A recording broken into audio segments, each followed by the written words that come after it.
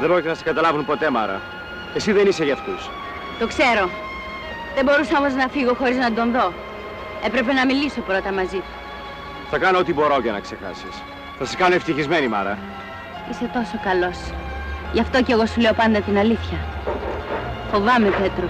Φοβάσαι; Τι φοβάσαι; Τους τσιγκάνους. Μην είσαι παιδί. Τι μπορούν να σου κάνουν; Υπάρχουν νόμοι, αστυνομία. Δεν τους ξέρεις καλά τους τσιγκάνους, Πέτρο. Ο Αλέξης δεν θα μου το συγχωρήσει ποτέ που παράτησα τη φιλή μου, τον αραβωνιαστικό μου.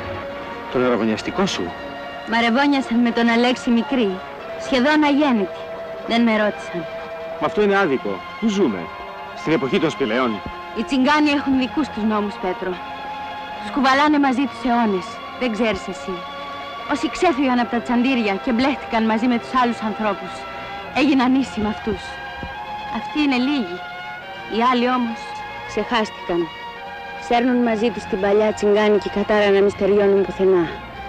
Τριγυρνάνε από εδώ και από εκεί σαν τα γρήμια. Αγαπούν και μισούν με ένα πρωτόγονο τρόπο. Πολλές φορές είναι όμορφοι.